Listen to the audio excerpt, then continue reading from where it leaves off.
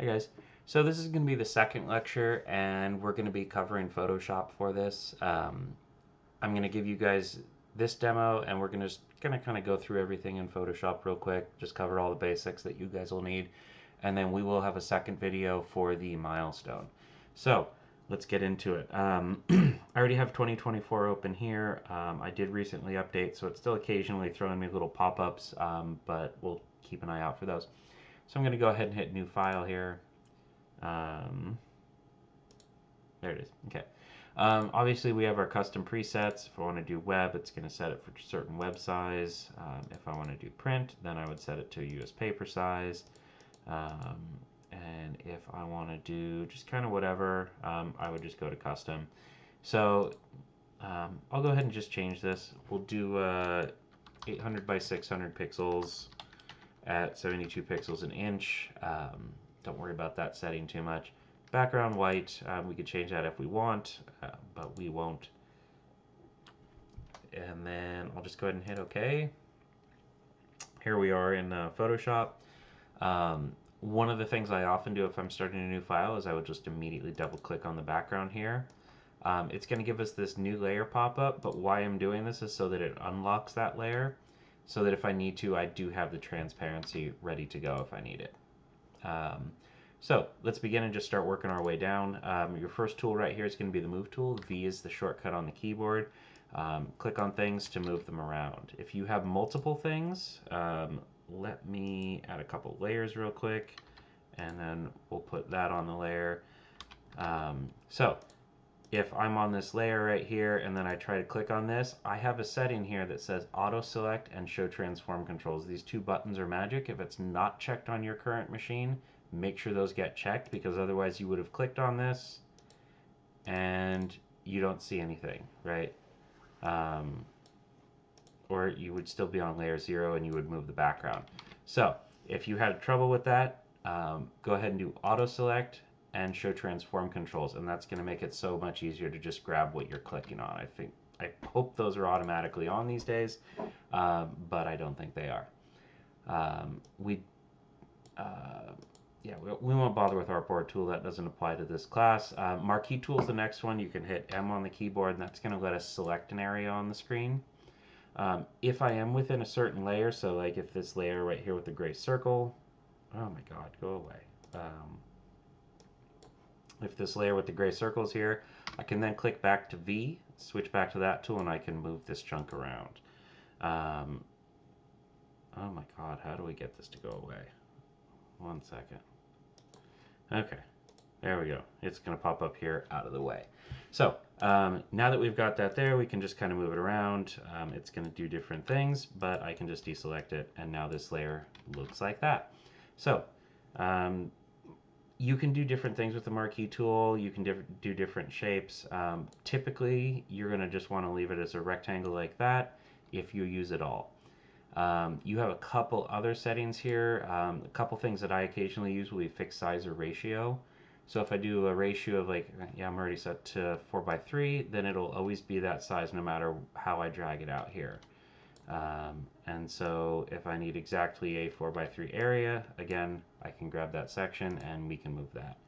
Um, I will hit M to switch back to the marquee tool and then I can click away. If you're ever having trouble, you're wondering why something isn't act acting on your screen, um, always look for the little uh, crawling ants going around right there and you might have something selected because if I have this selected, I can't do anything over here, but you see how it just does it only affects inside of that area. Um, you can do select inverse. There it is. And now I can work outside of that area and anything I do inside of this box doesn't matter. All right. So um, next is going to be the polygon lasso tool. This is kind of just the same idea as the uh, um, as the marquee tool. Um, it generates an area that we can select from. Um, as long as you get this little closure, see how when I get close you get that little circle? As long as you do that, it'll close that up. Otherwise, it kind of just keeps going until you close it. Um, switch to V, and boom, I can move it around. So, I mean, obviously a lot of this movement kind of similar. Um, yeah, most of the rest of those are kind of similar too. Um, Magic Wand tool, uh, not super important for what we do, but uh, uh, yeah, don't typically use it for this. Uh, crop tool we don't really use. Eyedropper is great um, if you want to sample something. Right now I'm just black on white right here, but if I switch it, it's going to always choose the top one. So if I click here, now my uh, selection layer there is going to be black. Um, healing brush isn't that great. Um, it does a couple things. There's the spot healing brush and remove tool. These, again, they're kind of just more if you're doing photo editing and stuff. We don't really do that in this class in that way. Um, brush tool is my favorite. Um, when you have it, you can uh, click the little bracket keys and change the size. I think that's a lot faster than going up here all the time and changing settings. Uh, one of the really fun things about this tool is you can come in here and open up these settings and uh, just kind of change what's going on here. Um, this whole panel kind of deserves its own lecture to itself. Um, I'm not going to go into it as much this semester, but um, you can do different things like uh, if we choose, let's see, scattering, we'll go to our scatter menu, both axes. This is always really fun. Um, let's see, count jitter, where's color dynamics? Foreground, background jitter, we'll throw in a blue color, that didn't go blue.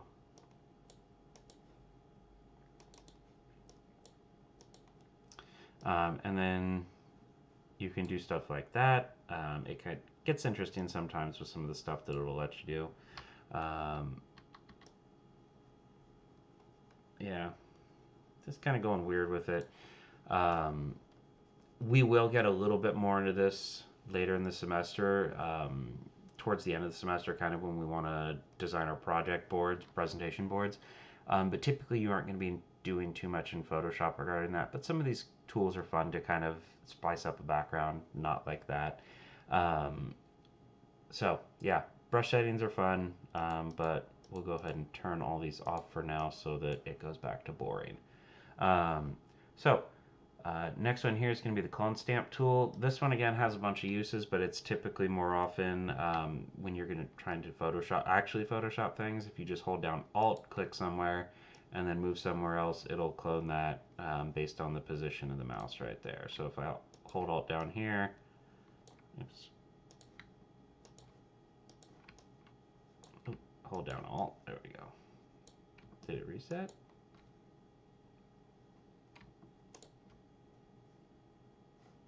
Oh, it's on the wrong layer. Yeah, we so um, you can see you can do a couple fun things with this, um, but again, it's not super applicable to us, and um, our milestones can be fairly limited um, with it. History brush, not really important. Eraser tool. Um, one of the fun things about a eraser tool that it, um, you can kind of get into the weeds with is it also has its own brush settings, so you can again use the same options here. You just don't have color dynamics because you're erasing. Um, you know, scatter, um, turn the opacity down, flow down, and you can do weird little patterns like that. Um, but it, it is kind of just, it is its own little tool here.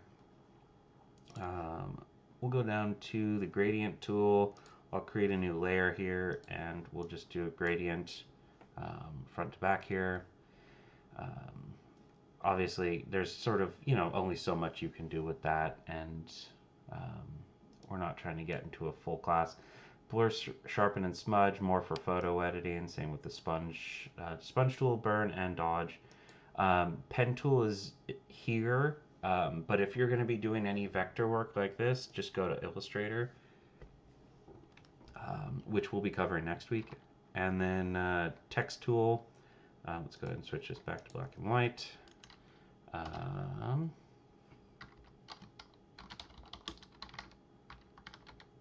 Okay.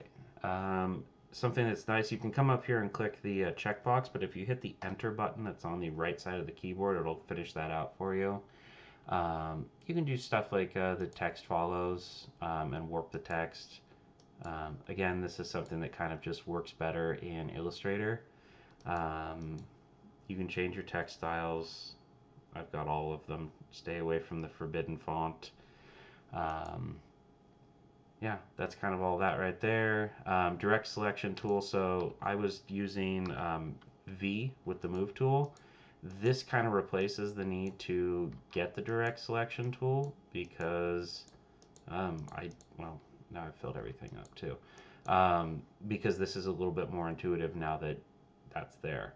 Um, and we're not doing that, so yeah, we're not doing paths. So um, or we're not doing pen tool rather. So um, let's move on to rectangle tool. Again, you've got all your different shapes here.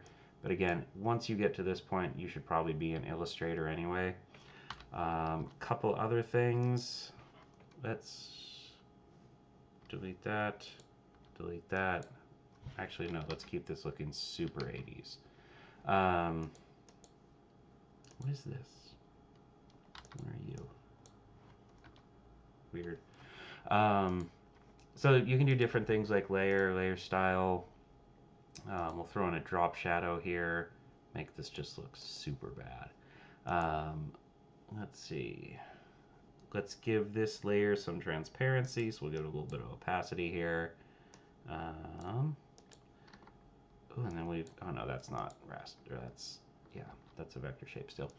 Um, we can do different things like, uh, we can add a stroke to it. So strokes are kind of handy, especially um, when you're project one, you might want to jump into a couple strokes. And I'll have that, I'll show that more in the video for that. Um, just doing different positions, blend modes, um, inner shadows, inner glows, um, stuff like text like this. See how that got super hard to read? Well, now I can come in here, layer style, throw a stroke on it, and now it gets even more terrifying, um, but uh, at least easier to read compared to what it looked like. Um, the hand tool, so uh, this is just for you to move around. If you hit H, you can switch to it. I'm not set up in a way, so if you hit F on the keyboard, watch see how the everything kind of, oh, everything changes. So that just went full screen, um, whatever that is, and then here, um, it's this next one right here where it actually, when you're in the full screen, um, my screen's bigger than this recording box, um, but uh, get back, there we go. Um, if I did want to pan around, you can do that. Um, my preference is if you hit spacebar, it's going to switch to that pan tool anyway, so I'm actually to go back to show you. So right now, I have to hit H and, oh, it's not going to do it because I'm not set up. So there, I've got that. But if I'm just on this, I can hit spacebar and start moving again. Um, as far as movement around here as well, um, you can also hold down the Alt key and then roll the mouse wheel, and it'll roll in depending on where your mouse is. So if I move the mouse over here, it will now zoom in here. Um, if I want to go to the center, and then it's also going to zoom out relative to where you are. So if I move the mouse up here and zoom out, it's going to continue moving me down to the right. Um, spacebar, Alt to zoom in, you can get around pretty quick. Um, something else, uh, you can do it plus uh, control plus and minus on the keyboard, but again, I think it's faster if you've already got your hand on the mouse and one on the keyboard to just hold down Alt and mouse wheel in and out. Um, so let's get out of full screen here. Come on. Oh, now it's stuck. Okay. There we go. There's my beautiful artwork again. Um, and then again, zoom tool. Again, pan and zoom are kind of useless once you know that you can just hit spacebar and use alt and mouse wheel. So, um, let's see. Couple things that are here. Um, the default settings right here, you can hit X. So if I have, um, you know, I can switch these back and forth. So if I have different colors there and I want to quickly apply two new ones without having to come and click this little tiny thing that they've got here, um, I can do that. So if I want to change this blue to something darker, switch to the red, something darker, and I can keep working. Um, if I want to switch back to this default setting right here, you just hit D on the keyboard and you'll see it'll reset to black and white there as well. Um, this right here we'll probably be getting into um, for the present or for your um, uh, for your project one or actually, sorry, for your milestone. Um, so let me grab an image for that and we'll just kind of get into that and work through some stuff real quick. All right, so um, I just loaded in a picture of my puppy back when she was a puppy. Now she's a full grown dog. Um, this was back when she used to be cute. Now she's a nightmare. Hot pet. She's sitting right here. Anyway, so um, so if we wanted to do something to her, we could do something like hit W and choose the magic wand tool.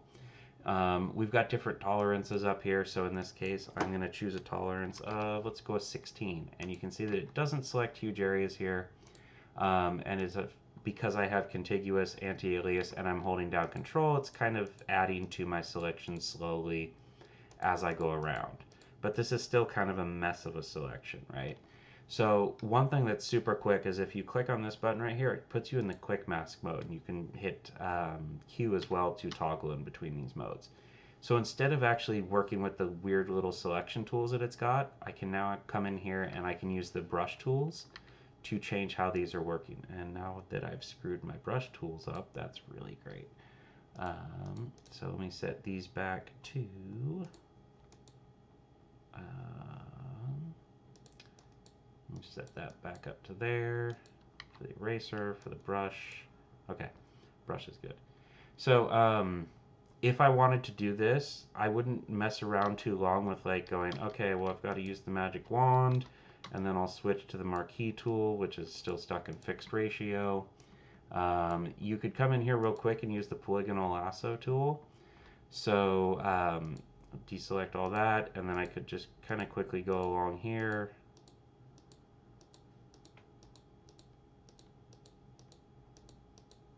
and kind of make my way around and I'm just gonna gonna go really excuse me. Excuse me. Ah. okay. Anyway um stupid menu. Okay. Um, so anyway once I've got that kind of selected out like that what I can do is I can oh it's still on a goofy eraser. Uh, scattering shape texture smoothing so now that I've got this going on here, oh, we need to turn these back up too. Um, so now I can erase. Um, and, and so what I'll do is I'll just start out really big. Ooh. And watch the hardness as well so that it doesn't get super blurry because I want to keep it a very hard edge um, for a lot of this. So I can go really quickly around here. Um, I can use the bracket keys again to quickly adjust the size of the brush that I'm using. Um, and typically what I'll do is I'll actually cut in a little bit into the thing. Um, and if I'm trying to get real accurate, um, what I'll do is I'll actually kind of erase most of stuff. Um, and then again, mouse wheel and alt, and I can zoom in here. I'll hit B and switch to the brush tool, spacebar to move up and then just kind of trace back everything that I want.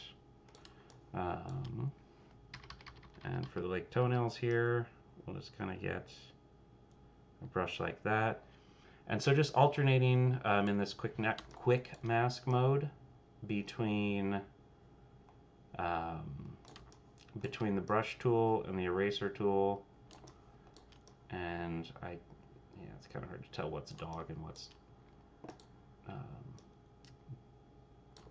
bad JPEGs. Um, but we can quickly just kind of go through here and grab things. Um, if I slip up like I just did right there, I totally didn't do that on purpose. Um, I can switch back to the eraser tool real quick and just cut that little spot out right there. Um, and then get back right on the brush tool. So alternating like that, just using a couple keys. Again, it's just the brush, the eraser, um, alt mouse wheel to zoom in, spacebar and mouse, left mouse button to uh, pan. Um, and I can very quickly just kind of move around here and selecting things. Um, one other tip that kind of comes in handy is if you have a long section that's kind of straight, if I stop right here, I have no keys down. So I'm going to move the mouse over here, hold down shift and click. See how it did a straight line there? I can do it here. So if I click, hold down shift, and then click here, it's going to draw a straight line. Um, if you start drawing and then hold down shift, it's going to lock you into a direction, right? So if I click here and then start moving, it's going to do, like I said, that straight line. Um, it's going to just do left, up, down, left, right. Um, we'll just make this bigger, race faster. So um, Photoshop's just kind of one of those programs where if you're, oops, wrong tool. Um, if you're working on it, you just want to kind of get used to using some of those tools um, and figure out ways to work quicker.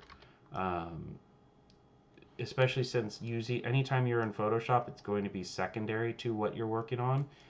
The the faster you are at using Photoshop, the quicker you can get back to generating content for the rest of your project. So I'll just finish kind of roughly getting her floof right there. And looks like we have a little bit extra right there. And again, getting in closer kind of helps you identify what you're looking at a little bit better.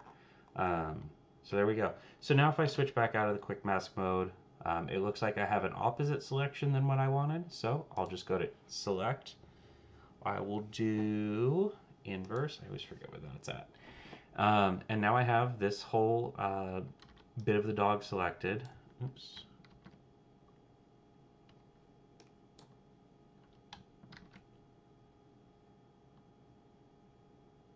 I should have that bit of the dog selected. Oh no. Why did we do that? Hmm. Okay, well, let's just double click on the background here. Um, it's something to do with this. Just delete that, sure. We wanted this layer. All right, so there's my dog. I got her selected.